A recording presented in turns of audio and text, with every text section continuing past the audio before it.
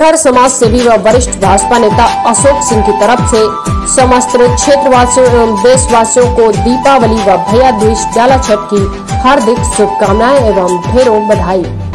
मैं अशोक सिंह, भारतीय जनता पार्टी जनपद मऊ, अपने और भारतीय जनता पार्टी जनपद मऊ के तरफ़ से पूरे जनपद वासियों को दीपावली की हार्दिक शुभकामनाएँ देता हूँ।